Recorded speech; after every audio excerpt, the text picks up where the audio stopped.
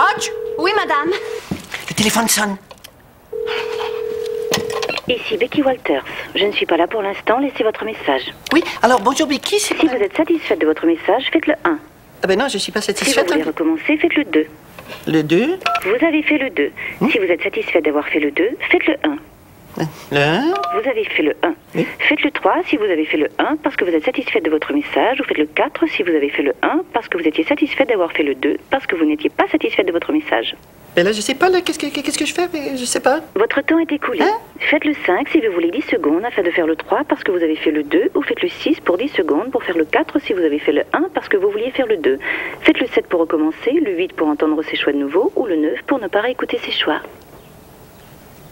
J'avais le 7.